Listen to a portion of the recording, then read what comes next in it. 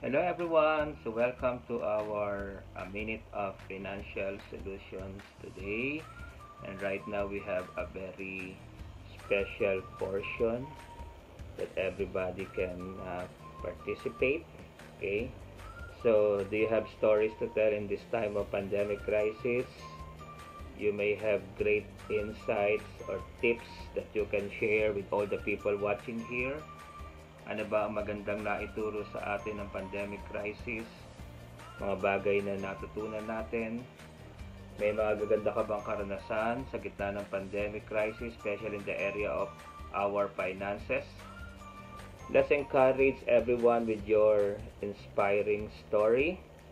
So just send a short video, probably maximum of 3 minutes of your story yung mga mapipili nating story will be posted here in our YouTube channel as well as in our Facebook.